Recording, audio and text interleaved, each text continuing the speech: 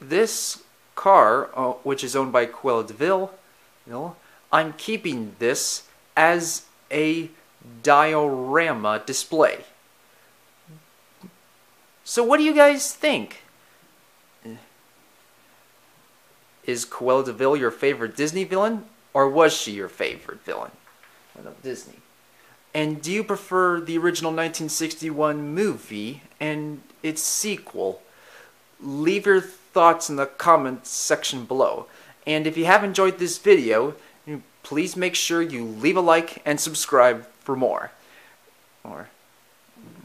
also, don't forget to check out some of my other videos and make any suggestions of which Disney Pixar cars of the past from the Disney Cars collection video in the description should I review next in the comments down as well.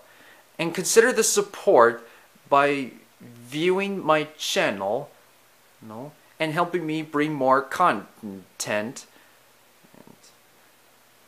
And I hope to see you guys next time for a review about a Disney Pixar car, so please stay tuned. Goodbye now!